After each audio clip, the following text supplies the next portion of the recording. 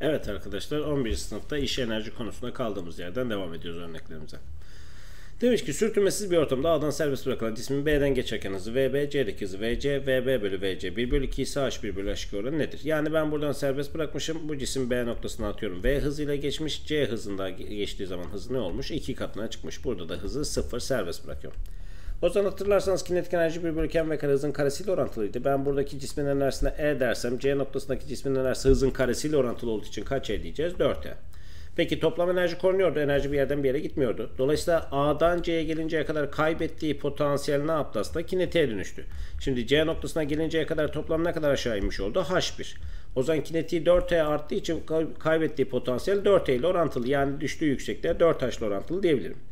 E, B'ye gelinceye kadar ise kinetiği 1'e arttı. Demek ki buradan buraya gelinceye kadar düştüğü yükseklik ne kadar oldu arkadaşlar? 1 H oldu. E, B'den C'ye gelinceye kadar da kinetik E'den 4E'ye çıkıyor. Yani toplamda 3E arttığı için o zaman kaybettiği potansiyel 3E ile yani düştüğü yükseklik 3H ile orantılı diyebiliriz. Yani dolayısıyla H1'imiz toplam kaç H deriz? H 4H deriz. H2 yüksekliğimizde ne kadardır? 3H'tır. H1 bölü H oranında buradan kaç çıkacaktır? 4 bölü 3 çıkacaktır. 13. sorumuz sisteme o noktasından serbest bırakılıyor. E serbest bırakıyorsa kinetik ney? Burada yok. Potansiyeli ne kadar? E potansiyeli şu anda 5H yüksekte olduğu için 5 mGh'lık potansiyeli var. Dolayısıyla bu noktada sahip olduğu mekanik enerji ne kadar? 5 mGh. E sürtünme olmadığına göre sistemin her noktasında kinetik yani toplam mekanik enerji ne olmak zorunda? Toplam 5 mGh olmak zorunda. Peki K'ya geldi. Neyi soruyor? K'dan geçerken kinetik enerjisini. E K'dayken potansiyel enerjisi ne kadar? EP'si. 3 mgh, 3h yüksekliğinde. E, toplam 5 mgh olduğuna göre demek ki buradaki kinetiğine 2 mgh'tır diyebilirim. Peki L'den sahip olduğu potansiyel, e potansiyel zaten direkt yerden yüksekliğiyle orantılı. Yani buradaki potansiyel ne kadardır? 4 mgh'tır buradaki potansiyel enerjisi. E K'daki kinetik enerjisi ne kadar? 2 mgh. L'deki potansiyeli ne kadar? 4 mgh. E bana bunun oranını soruyor. 2 bölü 4'ten 1 bölü 2 diyebiliriz. Evet 14. sorumuza geldik. Yerden 3 aş yükselti serbest bırakılan ilk cismi K'dan EK, L'deki kinetik enerjisi elde demiş. O zaman serbest bıraktığım için başlangıçta sahip olduğu kinetik enerji neyi? 0. Potansiyeli 3 mgh. Yani toplam enerji 3 mgh ne yapmayacak? Değişmeyecek. Peki K'ya gelinceye kadar bir H inecek. Yani potansiyeli 1 mgh azaldığı için o zaman azalan enerji aslında kaybolmayacak. Niye dönüşecek? Başka bir enerji olan kinetik enerjiye dönecek. O zaman K'dan geçerken sahip olduğu kinetik enerji kaybettiği potansiyel olan 1 mgh eşittir. E buradan buraya gelirken ne yaptı? Potansiyel enerjisi 1 mgh daha azaldı. Demek ki kinetik enerjisi 1 mgh daha artacak. Çünkü toplam değişmediği için. Buradaki kinetik enerjisine 2 mgh diyebiliriz. O zaman K'daki kinetiğin L'deki kinetiğin oranı ne çıkacaktır? 1 bölü 2 çıkacaktır. Yerden 125 santim. Ama dikkat edin hızı ne cinsinden sormuş? Metre bölü saniye. Yani o zaman 125 santim dediğimizde ne olacaktır? 1.25 metre yükseklikte. Serbest bırakılan cisim yere çarpmazı. E bırakıldığı anda yerden neyi var? Potansiyel enerjisi var. E, serbest bırakıldığı için sadece potansiyel var. Yere çarptığında da potansiyel yok. Sadece ne var? Kinetik enerji. Yani bu neye dönüştürüyor? 1 bölü 2 m kareye dönüştürüyor diyebiliriz. Evet şimdi buradaki m'ler birbirini sadeleştirirsek g'miz kaç? 10, h'ımız kaç? 1.25 metre. Bunu neye dönüştürecek? v kare bölü 2'ye dönüştürecek diyebiliriz. Yani buradan 12,5 joule eşittir v kare bölü 2 dersek v karemiz kaç çıkacak? 25. Her tarafın karekökünü alırsak yere çarpma hızı ne kadardır arkadaşlar? 5 metre bölü saniyedir deriz. 16. sorumuz demiş ki sürtünmesi önemsiz bir ortamdan düşey yukarı atılan bir cisim. Kinetik enerjisi potansiyel grafiği şekildeki olduğuna göre. Buna göre. Şimdi grafiği incelersek. Kırmızı olan ne? Kinetik enerjimiz. Şimdi bu cisme attığım anda kinetiği kaç? 200 joule. Potansiyelde yeşil olan. E bakıyorum potansiyeli ne? Sıfır. Yani zaten demek ki biz bunu ne yapıyoruz? Attığımız zaman yerden yukarı doğru atıyoruz. E yerden yukarı doğru attığım için başlangıçta ne kadar enerjisi var? Sadece kinetiği var. Potansiyel yok. Ve kinetik enerjisi ne kadar? 200. Yani demek ki ben bu cisme attığım anda sahip olduğu kinetik enerjisi 200 Joule olacak. E potansiyel zaten 0. Yani mekanik enerjisi kaçtır aslında? 200'dür. Ve mekanik enerji hiç ne yapmayacak? Değişmeyecek. Peki 2 saniye sonra zaman olarak 2 saniye geçince ne yapmış? Kinetik sıfırlanmış, potansiyel maksimum 200'e çıkmış. Yani enerjisinin tamamını ne yapmış 2 saniye sonra? Potansiyele çevirmiş diyebilirim. O zaman 2 saniye sonra bu adam en tepeye çıkacak ve o noktadaki potansiyel 200 iken kinetik sıfıra düşmüş olacak. Yani kinetiğin sıfıra düşmesi demek hızı ne olacak? Sıfır. Kaç saniyede? 2 saniyede. E atışlardan hatırlarsanız yukarı doğru çıkarken her sende hızını 10-10 azaltıyordu. O zaman iki sende sıfırladığına göre hızını demek ki hangi hızla atmışım? 20 metre bölü saniye hızla atmışım diyebilirim. O zaman attığım anda kinetiği de 200'dü. O zaman kinetik enerji neye eşit? 1 bölü 2 çarpı m çarpı hızının karesi. E hızı 20 ile attığımı buldum. 2, 20'nin karesi o zaman 400 dersek. Buradan 400 ile 200 sadeleştirsek 2 kalırsa m ne çıkacaktır arkadaşlar buradan? m'i ben 1 kilogram olarak buradan bulabilirim. O zaman cismin kütlesi C şıkkını bulduk. 1 kilogram. Maksimum yüksekliğini soruyor. E şimdi bu en tepeye çıktığı anda kinetik sıfır ama o zaman şu anda enerjinin tamamı yani 200'cülük enerjinin tamamı potansiyel şeklinde. Yani ne eşit? mg h eşit. O zaman 200 joule neye eşit? M'i kaç kilogram? 1 kilogram. G'si kaç? 10. E h'ı soruyor bana buradan. E h'da ne çıkar buradan? 20 metre çıkar diyebiliriz. Veya zaten atışlardan hatırlarsanız atışlardan da 20 ile atarsam 2 saniye çıkar. 2 saniyede aldığı yol ne kadar? Serbest düşme gibi 5-15'ten 20 metre çıkar da diyebiliriz. 17 soru sürtünmesi önemseniz ortamda yerden eğik atılan bir cisim var. Yani bu sefer cismi ne yapıyoruz? Şöyle yerden atıyoruz. Belli bir eğik atış hareketi yapıyoruz. Yani ne yapıyoruz? Ve sıfır hızıyla şöyle alfa açısıyla atıyoruz. Peki yerden eğik attığım için başlangıçta potansiyel enerjisi ne? Sıfır. Yerde duruyor. Kinetik enerjisi ne kadar? 500. Yani demek ki bu cismin mekanik enerjisi kaçtır arkadaşlar? 500'dür. Çünkü mekanik toplam enerjidir. E, toplam enerjide ne yapmayacak? Hiç değişmeyecek. E, yerden attığım için potansiyel sıfırsa o zaman toplam kinetik enerjisi zaten toplam enerjisi olacak. Peki eğik atılan cisim ne yapacak? Çıkacak, çıkacak, çıkacak. Potansiyel artacak, kinetik azalacak. En tepe geçip tekrar düşecek. Ama mekanik enerji ne yapmayacak? Hiç değişmeyecek. Peki en tepe noktada bile ne olmuş? En tepe noktada dikkat ederseniz potansiyeli kaçmış? 100'müş. E bu noktada potansiyel enerjisi pardon potansiyel değil. Yeşil olan kinetiydi. Kinetik enerjisi kaça düşmüş? Kinetik enerjisi 100'e düşmüş. Kinetiği 100 ise e, toplam mekanik enerji 500 olacağı için demek ki bu noktadaki potansiyel enerjisi ne kadardır? 400'dür diyebilirim. Çünkü toplam mekanik enerjisi 500'dü ve her yerde 500 olması gerekiyor. Yani toplamların değişmemesi gerekiyor. Peki bu yol, yol dediği yolda büyük, büyük ihtimalle düşeyde aldığı, düşey eksendeki aldığı yoldur. Yani ne yapmış? En tepeye çıkınca kaç metre yol almış? 20 metre. Yani bu adam ne kadar yukarı çıkmış? 20 metre yukarı çıkmış. Peki 20 metre yükseklikteyken potansiyeli kaç? 400. O zaman potansiyel enerjisi dediğimiz şey neye eşittir? mg h'ı. m g'si 10, h'ı 20 metre yukarı çıktı. Buradan 400 eşittir 200 m dersem cismin kütlesini buradan kaç kilogram bulabilirim? 2 kilogram bulabilirim. Kütleyi bulduk 2 kilogram. Yatay hızı, e şimdi yatay hızı atıldığındaki hızı yatay ve düşey iki bileşeni var. O zaman atış anındaki hızını bulamam. E yatay hızı nerededir? En tepedeyken cismin sadece neyi vardır? Yatay hızı vardır. Düşey yoktur. O zaman en tepedeyken sahip olduğu kinetik enerji kaçtı? 100'dü. Demek ki o noktada sahip olduğu kinetik enerji sadece yatay hızdan dolayı sahip olduğu kinetik enerji olacak. Yani 1 bölü 2 m.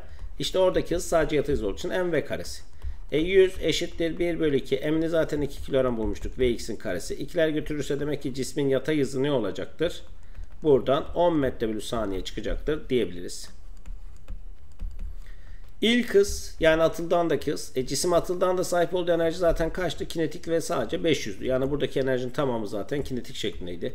E, 1 bölü 2 çarpı m2 hızı bilmiyorum hangi hızda atıldı ve sıfırın karesi. E, toplam enerjisi kaç zaten kinetiği? 500.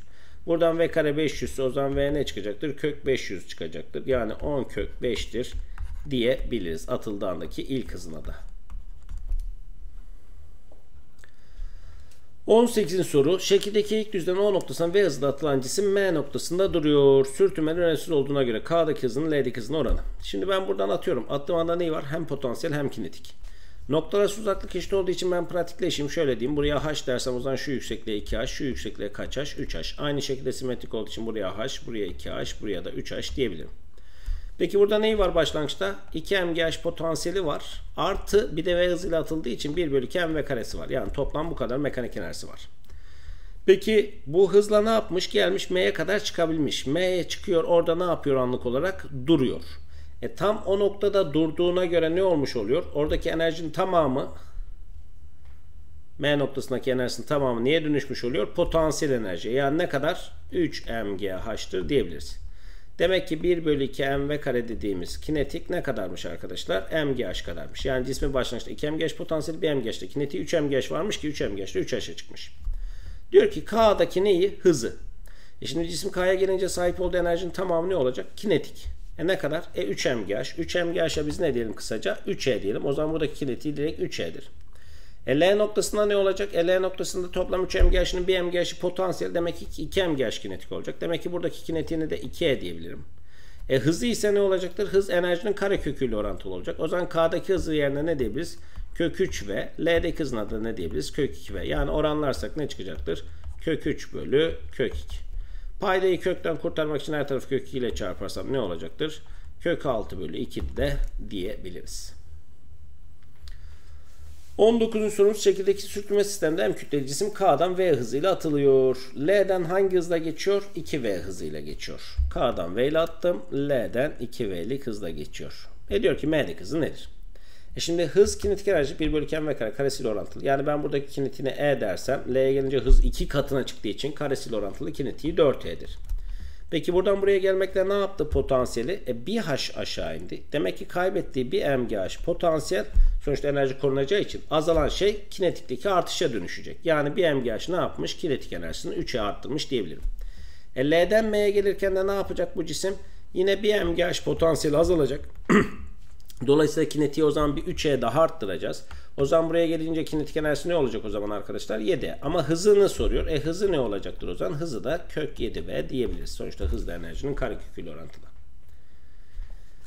20. sorumuz 20 metre yüksekten onluk hızla atılıyor. İlk kinetik enerjisi. E, atıldığı andaki ilk kinetiği ne kadar? 1 bölü 2. Kütlesine kadar 2. Hangi hızla attık o anda? Onun karesi dersek. Başlangıçta kinetik enerjisi 100 Joule. İlk potansiyel enerjisi e, şu anda yerden 20 metre yüksekte olduğu için potansiyel MGH. M2 kilogram. G'si 10 yer çekilmesi. 20 metre yukarıdan attık. Yani ne oldu buradaki potansiyeli? 400.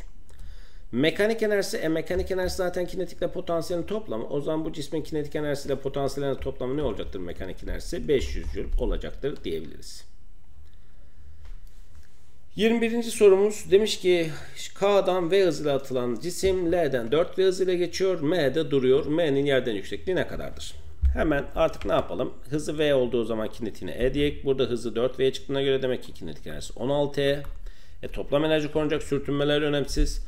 Dolayısıyla buradan buraya gelmekle ne yaptı? Potansiyeli 3H aşağı indi. Yani kaybettiği mg 3H'lık potansiyel kinetiği E'den 16'ya çıkarmış. Toplam enerji korunacağı için. Yani neye dönüşmüş? 15E'ye dönüşmüş diyebilirim. O zaman demek ki bir MGH dediğimiz şey ne olacaktır? 5E'ye dönüşecektir. E diyor ki M'de duruyor. E M'de duruyorsa demek ki buradaki 16E'nin tamamı neye dönüştürdü arkadaşlar? Potansiyeli. O zaman 5E ve MGH eşitse e 16E kaç MGH eşittir? E içler dışlar çarpımı yaparsak ne olacaktır? 16 bölü 5 MGH eşit olacaktır. Dolayısıyla çıkabileceği yükseklikte ne olacaktır? 16 bölü 5 H diyebiliriz. Yani hatta onu sadeleştirerek ne yaparız? 3.2H deriz. 22. soru diyor ki serbest bırakıldığı herhangi bir anda sahip olduğu kinetik enerjinin oranı. Şimdi serbest bırakırsam 1 kilogram 2 kilogram 2 kilogram daha ağır olduğu için sistem ne yapacak? Buraya doğru hareket edecek. Dinamikten de hatırlarsanız ne yapacak? İğmeli bir hareket yapacak. Y cismi ne yapacak? Aşağı doğru hızlanacak. X cismi ne yapacak? Yukarı doğru hızlanacak. Peki burada dikkat edeceğimiz olay bunlar neye bağlı? Aynı ipe bağlı. Aynı ipe bağlı olduğu için aynı süredeki yer değiştirmeler nedir? Aldıkları yol aynıdır. Yani bu h çıkana kadar ne yapacaktır? Bu da h kadar yol alacaktır. Dolayısıyla aynı sürede aynı yol aldığı için bunların ivmeleri ve hızları nedir? Anlık olarak eşittir. Ha, sürekli hızı artıyordur ama her an için ne yapacak? Birbirine eşit olacak çünkü aynı ipe bağlı. Yani bu iki cisminde neyi aynı diyebiliriz? Bu iki cisminde hızına v v diyebiliriz. E, kinetik enerji, e, X'in sahip olduğu kinetik enerji ne olacak? Hızlar aynıysa kütleyle orantılı. Sonuçta 1 bölü 2. M'i kaç? 1. Hızı V kare. E, Y'nin sahip olduğu kinetik enerji 1 bölü 2. Kütlesi kaç? 2. Hızı yine V kare. Yani hızlar eşit olduğu için direkt kinetik enerji kütleyle orantılı 1 bölü 2'dir deriz. 23. sorumuzda demiş ki düşey şekildeki olan sürtünmesiz yolun K noktasından serbest bırakılan cisim duvara çarptıktan sonra dörtlük hızla geri dönüyor. Çarpma sırasında enerjisinin yüzde kaçını kaybetmiştir? Şimdi sürtünmesiz yol olduğu için yol sürtünmesiz yolda ne yapacak? Zaten enerji kaybetmeyecek. Nerede kaybediyor? Çarpma sırasında bir kaybı oluyor. E o zaman ben K'dan ne yapıyorum? Cismi serbest bırakıyorum. Serbest bırakmak demek ne demek? Başlangıçta hızı yok. Yani kinetik enerjisi yok. Yani cismin K'dayken neyi var sadece? Potansiyel enerjisi. Ne kadar? MGH. M'i kaç? 1, G'si 10, H'ı 2 metre. Yani ne kadar enerjisi var? 20 jüllük enerjisi var. E, bu sürtünmesi yol boyunca inerken ne yapacak? Toplam 20 Joule'u değiştirmeyecek. Kaybettiği potansiyel kinetiğe dönecek ama toplam enerji 20 Joule olarak ne yapacak? Aynen kalacak. Peki duvara çarptıktan sonra ne yapmış? Dörtlük hızla geri dönmüş. O zaman dörtlük hızla geri döndüğüne göre kütlesi de 1 kilogram olduğu için neyi var sadece burada? Kinetik enerjisi. Ne kadar? E 1 bölü 2 çarpı m'i 1 hızı da 4'ün karesi 16 dersem 8 jüllük neyi var? Enerjisi var. E başlangıçta ne kadar vardı? 20 idi ama çarpmadan sonra ne kadar kaldı? 8. Demek ki çarpma sırasında ne kadarmış? O zaman çarpmayla kaybettiği enerji 12 jüllük enerjiyi ne yapmış çarpma sırasında kaybetmiş. E diyor ki enerjisinin bu yüzde kaçıdır? E yüzde yüzlük yani yüzde yüzü 20 jül ise e yüzde kaçı 12 jüle denk gelecektir? O zaman içler dışlar çarpımı yaparsak 12 çarpı 100 bölü 20 dersek buradan ne çıkacaktır arkadaşlar? Yüzde 60'ın ne yapmış olacak bu? Kaybetmiş olacaktır diyebiliriz. 24. sorumuz düşey şekildeki olan sürtünmesi yolun K noktasından onluk hızla atılan cisim L ve M noktalarındaki hızlarını bulunuz. Peki K'dan 10 atıyor. Sürtünme yok. O zaman buradaki buradaki buradaki her yerdeki mekanik enerji ne? Eşit. Ancak ne yapıyor? Potansiyel kinetiğe, kinetik potansiyel kendi arasında dönüşüyorlar ama toplamları asla değişmeyecek. O zaman cismin sahip olduğu enerji K'dayken neyi var? E bir potansiyeli var. Ne kadar? M. G'si kaç? 10. H'ı kaç metre? 20 metre. Yani 200 M potansiyeli var. E 1 bölü 2 çarpı M çarpı hızı onun karesi olduğu için 100 de buradan kinetiği var. Yani K'dayken sahip olduğu potansiyel 200 M. Kinetikte 50 M. Yani bu cismin toplam ne kadar enerjisi var arkadaşlar? 250 M'lik enerji var. M'i vermiş mi? Vermemiş. Önemli de değil. Sonuçta potansiyel kinetikte hepsinde M birbirini götürecek. Peki L'ye gelince toplam enerjisi ne olacak? Değişmeyecek. L'de de toplam enerjisi 250 M olacak. Ama L'de bunun neyi yok? Potansiyel yok. Yani enerjinin tamamı ne şeklinde? Kinetik. Yani 250 M neye eşit direkt? 1 bölü 2 M L'deki hızının karesine eşit. M'leri sadeleştirdik. Her tarafı 2 ile çarparsak L'deki hızının karesi ne olacaktır? 500. Sonra her tarafın kare kökünü alırsak L'deki hızımız ne çıkacaktır arkadaşlar? 10 kök 5 metre bölü saniyedir diyebiliriz. Peki M, e cisim M'ye geldiği zaman neyi var? Yerden bir yüksekliği potansiyeli var. E bir de burada hızı var. Ama sonuçta toplam enerjisi ne olmak zorunda? Toplam enerjisi yine 250 M olmak zorunda. Çünkü her yerdeki enerji aynı. Peki buradaki potansiyeli ne kadar? E potansiyeli M, G'si kaç? 10, H'ı kaç metrede? 5 metrede. E bir de neyi var? 1 bölü 2 M, işte M'deki hızının karesi kinetiği var. E toplamları ne olmak zorunda? Toplamları yine toplam enerji olan 250 M eşit olmak zorunda. E 50 M potansiyel vardı. 250 M'in 50 M potansiyelse demek ki buradaki kinetik enerjisinde ne kadar diyebiliriz? 200 M diyebiliriz. Yani 1 bölü 2 M karesi 200 M ise buradan VM'nin karesi ne çıkacaktır? 400. Her tarafın karekökünü alırsak o zaman cismin M'deki hızı da 20 metre bölü saniyedir deriz. 25. sorumuz bir cismin kinetik enerjisinin hızı grafiği şekildeki cismin kütlesi. E yani ne yapıyor? Direkt formülü soruyor. Kinetik enerjinin formülü ne arkadaşlar? 1 bölü 2. M bilmiyoruz bana onu soruyor. Hızı kaç? E hızı 2. 2'nin karesi olduğu zaman sahip olduğu enerji kaçmış? 20 jölmüş. Buradan 2'nin karesi 4 ile 2'yi sadeleştirsem 2m eşittir 20 jül dersem o zaman cismin kütlesi arkadaşlar ne kadardır? 10 kilogramdır deriz. 26. sorumuz. Şekildeki hem kütleli cam macunu sürtünmesi yayın üzerinde 1 metre yükseklikten dörtlü hızla yaya doğru atılıyor. Yaya çarpıyor. Yayı en fazla 20 santim sıkıştırıyor. İşte burada en fazla dediği neyi sıkıştırdı, sıkıştırdı, sıkıştırdı. Sıkıştırırken o cisim hala hareket halinde. Yani bir hızı var maksimum sıkıştıradan anlık olarak ne yaptı? Cisim durdu. Yani artık kinetiği kalmadı. Bütün enerji yaydı. Sonra ne yapacak yay onu? Geri yukarı doğru fırlatacak. Burada dikkat edeceğimiz olay ne? Yer düzlemi olarak ne yapalım? Cismin tam durduğu anı alalım. Yani ne yapalım? Yayı ne kadar sıkıştırmıştı? 20 santim. Yalnız burada santimi metreye çevireceğiz. Çünkü Newton metre ve metre joule cinsten işlem yapacağımız için. Yani 0,2 metre sıkıştırdığı an şu an alalım. Tam şu anda cisim ne yapacak anlık olarak? Duracak. O zaman ben yer düzlem olarak burayı kabul edeyim. Yani benim yer eksenim burası olsun. Sonuçta yukarıyla uğraşmayalım. Şimdi cismin buradaki toplam enerji mekanik enerjisi, buradaki mekanik enerjisi ne olmak zorunda birbirine eşit. Yalnız burada hızı neyi? Sıfır. Çünkü anlık olarak durdu maksimum sıkıştırdığında. Yani ne oldu? Cismin burada neyi var yere göre? Dikkat ederseniz Burada aşağı doğru iniyor. Kaybettiği potansiyel işte kinetik artı potansiyel kaybediyor. Geliyor yaya çarpıyor. Ama yayı sıkıştırırken hala potansiyel enerji ne yapıyor? Kaybetmeye devam ediyor. Yani orada sıkıştırma anda da kaybettiği potansiyeli yaya aktarmış olacak. Yani toplamda bu cisim toplamda ne kadar aşağı inmiş oluyor? 1.2 metre. Dolayısıyla yer düzlem olarak burayı kabul ettiğim için cismin orada neyi var? M, M'ini vermiş mi kaç kilogram diye? Yok onu soruyor zaten. M G'si kaç? 10. H'ı ne kadar? 1.2 metre yükseklikte. 1.2 potansiyeli var. E bir de orada dörtlük hızla attığım için 1 bölü 2 çarpı m çarpı 4'ün karesi kinetik enerjisi var. E şimdi bu yer düzlemine geldiği zaman cisimde ne potansiyel ne kinetik hiçbir şey kalmadı. Çünkü maksimum sıkıştırdığı anda yer olarak kabul ettiğim için yerden yüksekliği yok kabul ettim orayı yer saydığım için. E hız da zaten yok. O zaman bu enerjinin tamamı kimdi şu anda? Yayda. O zaman bu enerji neye dönüştü? 1 bölü 2 kx kare yaya dönüştü. Yani buradan 12m artı 4'ün karesi 16m 2'ye bölersek 8m eşittir neye dönüşecek? 1 bölü 2 k'mız kaç? 500. x'imizi ne verdi? 0,2 metre sıkıştırdı. E onu da 2 bölü 10 gibi düşünelim. Karesini alırsak 4 bölü 100 diyebiliriz. Buradan 20m eşittir. Şu 4 ile şu 2'yi sadece 2 kaldı. 100'leri de götürsek ne kaldı? 10. M'imiz buradan ne çıktı arkadaşlar? 1 bölü 2 kilogram. Yani 0,5 kilogramlık bir cismin kütlesi varmış arkadaşlar. 27. sorumuz sürtünmesi yatay yolda hareket eden bir kilometre cisim yaya çarpıp duruncaya kadar yayı sıkıştırıyor. Yay en fazla kaç santim sıkışır? Dikkat et santim cinsinden sormuş ama K'yı Newton metre cinsinden. Yani biz normal metre cinsinden bulacağız sonra onu santime çeviririz. Peki cisme attığım anda neyi var? Kinetik enerjisi var. Ne kadar? 1 bölü 2. M'e 1 hızı kaç? 13'ün karesi. E ne olacak? E gidecek bu yaya çarpacak. E yaya çarpınca ne yapacak? Yayı sıkıştıracak, sıkıştıracak, sıkıştıracak. Maksimum sıkıştırdan da ne yapacak? Cisim duracak. Yani enerjinin tamamı kime dönüşecek? Yaya. Yani neye dönüşecek bu da? 1 bölü 2 K. K'mız kaç? 25 çarpı X karedir diyebiliriz. Buradan 1 bölü 2'leri sadeleştirirsek o zaman X kare 25 X kare eşittir 13'ün karesi olur. Buradan her tarafı 25'e bölersek x kare 13'ün karesi bölü 25'tir diyebiliriz. Her tarafın kare kökünü alırsam x'imiz ne çıkacak? 13'ün karesi zaten 13 olarak çıkacak. 25'te 5 olarak çıkacak. 13 bölü 5 metre. Yani 2.6 metre. E santim demiş. E santime çevireceğiz o zaman. 2.6 metre demek ne demektir arkadaşlar? 260 santim sıkıştırmış olacaktır.